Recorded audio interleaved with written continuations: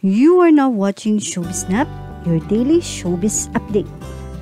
Narito nga po ang mga reaksyon ng netizen matapos nga po magbigay si Mateo Godicelli ng kanyang open letter at hagingan nga po natin ang sinabi ni Mateo uh, medyo uh, i-short lang natin yung story na kung saan or mensahe na ibinigay nga po ni Mateo sa kanyang Instagram.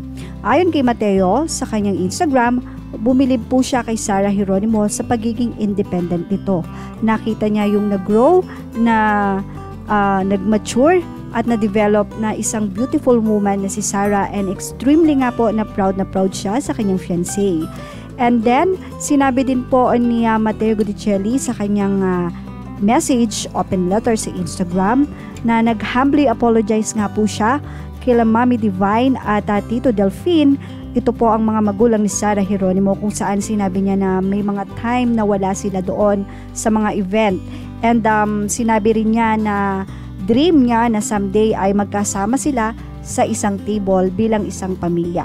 So doon marami nga pong revelasyon si uh, Mateo dahil uh, kahit noon pa man ay napansin nga po ng mga netizen kung bakit nga po ba ni isang picture ni Mateo at ni Sarah ay walang picture itong sila Mami Divine at ang kanyang pamilya na kasama si Mateo. Din, din dito po, nagpasalamat din si Mateo sa kanyang pamilya sa pag-welcome ng buong buo at pagmamahal na ibinigay nga po ng kanyang pamilya kay Sarah Hieronimo. Uh, meaning na doon pa lang po ay talaga namang nagpapasalamat na si Mateo sa pagtanggap ng buo ng kanyang pamilya kay Sarah Hieronimo. Samantala, ipinangako naman nitong si Mateo Godicelli sa magulang ni Sarah uh, na ito'y kanyang mamahalin uh, uh, doon sa katulad ng pagmamahal na ibinigay nga po ng kanyang mga magulang dito. At ipinangako niya nga po na aalagahan, aalagaan niya ng husto itong si Sarah Hieronimo. Yan nga po ang uh, open letter ni Matteo Gudicelli. Samantala, Narito naman nga po yung opinion o reaksyon ng mga netizen sa naging open letter na ito ni Mateo. Ang sabi nila mula nga po sa mga komento ng anonymous person sa Passion Police, sabi nila, aw, at least nakipaglaban, naipaglaban niya si Sarah and likewise, pansin ko nga wala silang pics with Sarah's family. Mommy Divine Intervention, uh, I let go nyo na po or i-let go nyo na po si Bagets dahil may edad na din siya na pagkatapos niya na lahat ng uh, since at nakapag-provide na sa inyo, since nakapag-provide na po sa inyo again, uh, hindi nga daw po obligasyon ng anak na sobrang magbigay o ang ibig sabihin ay uh, ilaan ang kanyang lakas sa lahat uh, ng pagbibigay ng uh, kapangangailangan ng magulang yan. Sinsabi nga po ng isang netizen na ito ay sobra-sobra na ang pagtulong lalong-lalo na nga po sa mga kapatid. It's time for Sarah naman po ang magkaroon ng sarili niyang pamilya. Sabi nga ng isa, kaya nga may annoying na ha, ano gusto nila forever single si Sarah. Couldn't agree more. Grabe, sobrang nakaka-touch si Mateo. I love this couple. Grabe silang dalawa, nakakaiyak get married na kasi.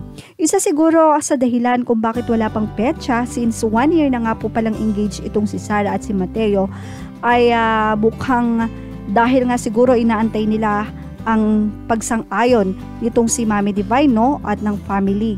Kaya naman wala pa silang maibigay na schedule but since siguro nag-decide na itong si Sarah Hieronimo na nag-go signal na kay Mateo na sige ipaalam mo na sa social media na engaged na sila dahil once na nagpakasal sila at hindi nakita ang family doon at least alam na po ng uh, social media kung bakit. Sabi nga po ng isa ay nako, feeling ko kasal na yung civil. Kebs na no, love is love and it can move mountains. Hay, minsan talaga mahal mo sa buhay ang magkakait sa'yo. Yung binigay mo na kaligaya, kaliwang braso ay gusto po pang kunin ang buong braso, moms. Marami nga po ang naniniwala na civil uh, kasal na itong si Mateo at uh, si Sarah at kailangan na nga lang po ang ceremony at since uh, public figure po sila, syempre uh, karapatan po ng mga fans or netizen na maibahagi po ang kanilang kasal. Although may private uh, private wedding, pero nandun pa rin po mga fans na nag expect ng uh, kainilang uh, pagbabahagi. Yes, ang maganda kay Mateo eh pinaalam pa din at pinaglaban. I don't know why Mateo had to apologize. Ang tatanda na nila kung ayaw ng magulang eh di tuloy nyo pa din. Uh, yun nga po ang sabi niya. Important for them to get the blessing of their parents. Starting a new life, creating your own family doesn't mean you cut ties with your old family. It means you are extending your family, welcoming both in their lives with no issue or whatsoever. They want to start their married life with no emotional baggage and heavy heart. Okay, bilang uh, personal matter po, no, may ibabahagi po ako sa inyo. Uh, meron po akong alam na gusto nang talagang magpakasal or ipakasal o uh, pakasalan itong si lalaki, itong si babae. Uh, pero hindi po pumayag yung magulang dahil nga po breadwinner itong si lalaki. So ang nangyari nung pong nagpunta sa ibang bansa itong si lalaki ay uh, ipinilit ng magulang na mag-asawa doon ng uh, citizen kumbaga para maging uh, immigrant doon. And then yun nga po ang nangyari. Uh, lumipas ang 5 years, walang alam itong si girlfriend nakasal na pala si boyfriend doon pero still constant ang kanilang komunikasyon. Ang nagsabi lang po ay ang kaibigan. Yan. Uh, ang alam po kasi ng mga magulang, once na nag-asawa na, lalo na kung breadwinner ang kanilang anak, ay magkakaroon ng kahati which is self, uh, napaka uh, self, ano ba tawag dito? Uh, makasarili. Ano ba sa English yun?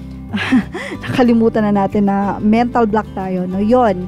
Ibig sabihin, ah, uh, kumbaga, hindi dapat ganon, no? So, ang nangyari, hindi sila nagkatuluyan dahil ang ginawa ni babae ay sinabi niya na mag-focus doon sa family at uh, kumbaga palayain na lang siya. So, yon sa makatuwid, but uh, in the end, nagkaayos naman sila at uh, nagkapatawaran at ngayon ay magkaibigan yan. But, but sana, sana nga siguro hindi lang talaga sila yung inilaan para sa isa't isa, no?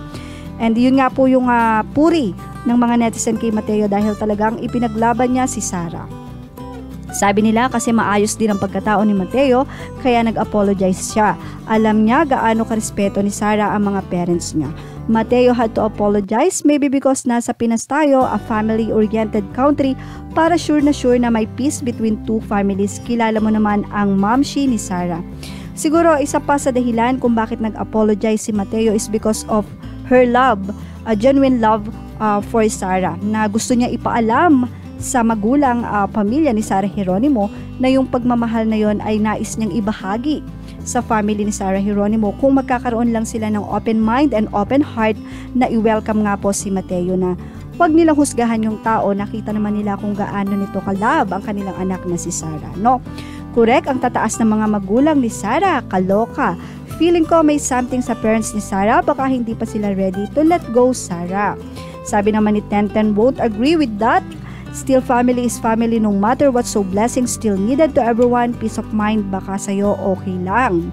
Mommy Divine, it doesn't mean na kapag kasal na si Mateo ay uh, and Sarah ay kakalimutan ka na ng anak mo. Hindi yan mangyayari, imposible mangyari yon. Mahal ka ni Sarah for sure, please let her go na.